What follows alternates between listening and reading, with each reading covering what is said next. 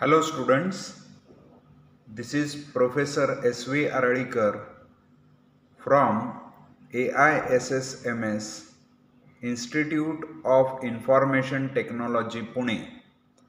I am working as Assistant Professor in Physics in the Department of Engineering Sciences. Today we are going to discuss on Heisenberg's uncertainty principle. So, students, let us think of Heisenberg's uncertainty principle.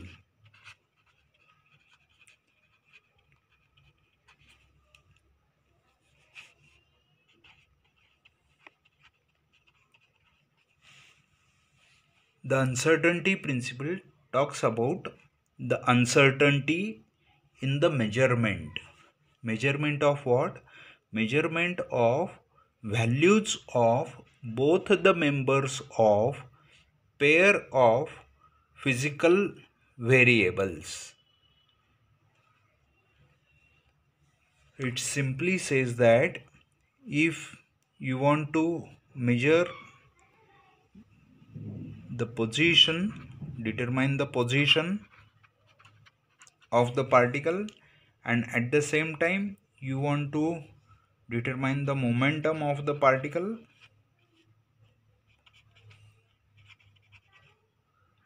Then there is limit on accuracy with which the simultaneous measurement of the momentum along with the position that can be done and this limit is on the accuracy.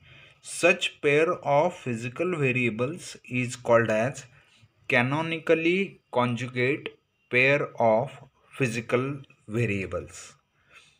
If delta x denotes uncertainty in the position determination of position of the particle and delta p denotes uncertainty in determination of momentum of the particle then delta x into delta p is of the order of h or it is equal to h. The Heisenberg's uncertainty principle talks about the limit on accuracy for simultaneous measurement of the values of both the members of pair of physical variables.